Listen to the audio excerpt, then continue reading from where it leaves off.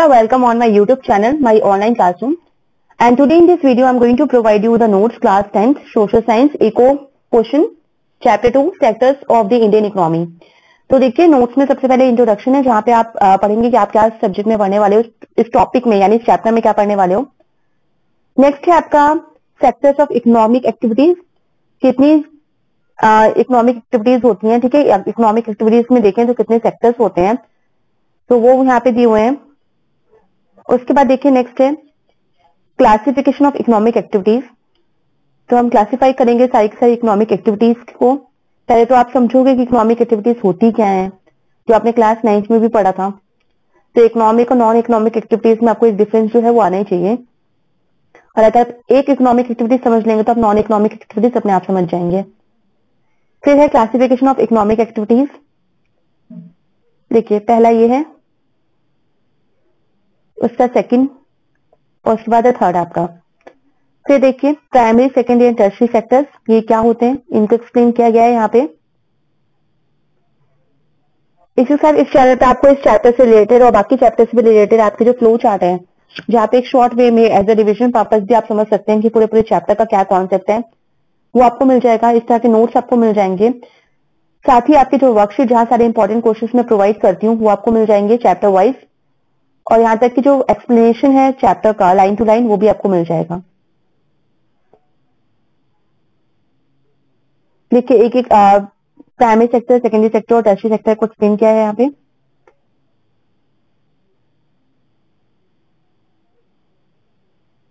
और देखिए, किस तरह से यूजफुल है सारी सारी इकोनॉमिक एक्टिविटीज़ इसके बाद है next organised and unorganised sectors तो ये क्या होते हैं? पहले इनको एक्सप्लेन किया गया है। नेक्स्ट है आपका। पब्लिक एंड प्राइवेट सेक्टर्स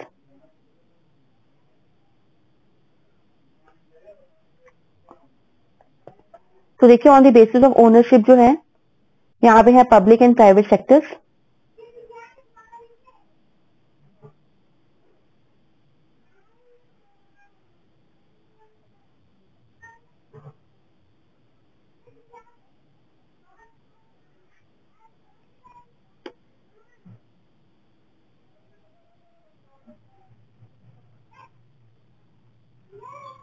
फिर देखिए comparison of of the rate of growth of tertiary sector with other sectors in terms of GDP and employment तो यहाँ पूरा कंपेरिजन है क्योंकि यहाँ से काफ़ी इंपॉर्टेंट क्वेश्चन आपके बन जाते हैं।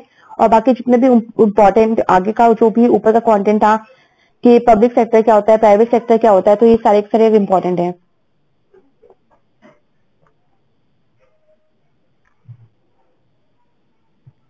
फिर आपकी next heading reason why most of the people in India are still employed in the primary sector. तो देखिए क्या वजह है, क्या रीजन है? वो सब मेंशन किए गए यहाँ पे पॉइंट वाइज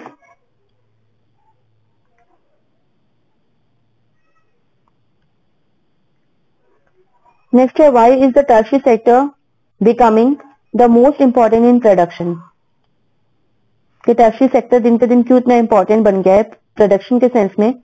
यानी यहाँ से क्यों इतना जीडीपी आता है कंट्री को?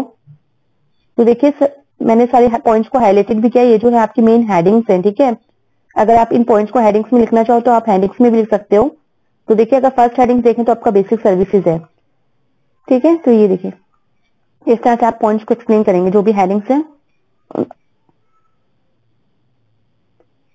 नेक्स्ट है आपका मीनिंग ऑफ़ अनएम्प्लॉयमेंट पहले है मीनिंग उसके बाद है टाइप्स जो क्लास नाइन्थ से काफ़ी कॉमन टॉपिक आपका है ये, आपने क्लास नाइन्थ में भी सारी चीज़ें पढ़ी हुई हैं। देखिए फ़र्स्ट जो है स्ट्रक्चरल और ओपन अनएम्प्लॉयमेंट है। उसके बारे में है। फिर सेकंड देखिए डिस्गाइज अनएम्प्लॉयमेंट है। फिर है आपका सीजनल अनएम्प्लॉयमेंट जो आपने क्लास नाइन्थ में काफ़ी कुछ पढ़ा हुआ है। इन तीनों के अलावा तीन अनएम्प्लॉयमेंट तो आपने क्लास नाइन्थ में पढ़ी थी। साथ में देखिए एक और अनएम्प्लॉयमेंट है साइक्लिक अनएम्प्लॉयमेंट तो इसमें थोड़ी नॉलेज आपको होनी चाहिए। इसके बाद है measures that can be adopted to remove disguised unemployment तो कौन कौन से मेजर्स हैं जिनके वजह जिनको अडॉप्ट करके हम रिमूव कर सकते हैं डिस्गाइज अनएम्प्लॉयमेंट तो वो ये सारे हैं।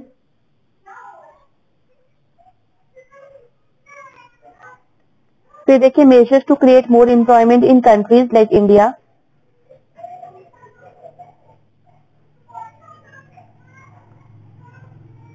फिर है आपका the main objective in implementing the MNREGA 2005 तो ये सारे पॉइंट्स आप देखेंगे। फिर है comparison of employment conditions revealing in the in the organised and the unorganised sectors फिर देखिए नेक्स्ट हेडिंग है should the workers in the unorganised sectors be protected